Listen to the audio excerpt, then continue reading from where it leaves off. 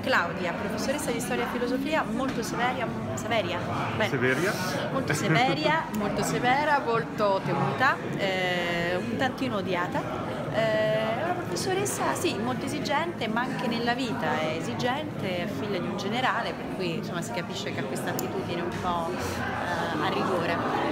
corso della serie chiaramente succedono cose che riguardano la vita privata che scioglieranno un po' questo cuore gelido.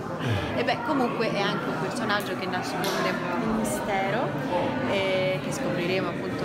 via via nelle puntate, dove però quindi questo cuore così gelido ma in realtà evidentemente non è. Incubo, incubo totale, grande paura, strizza proprio la performance, l'ho sempre sofferta, è curioso che abbia fatto questa scelta lavorativa perché la, la soffro molto.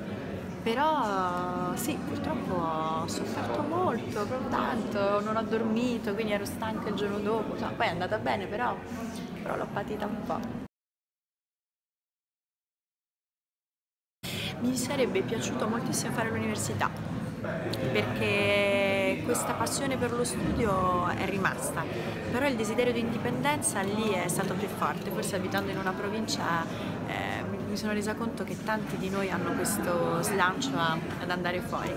e mi dispiace un po' perché oggi lo faccio per, diciamo, per conto mio, quindi studio e mi appassiono molto alle cose che studio, però sarebbe stata una cosa che sicuramente mi sarei divertita a fare.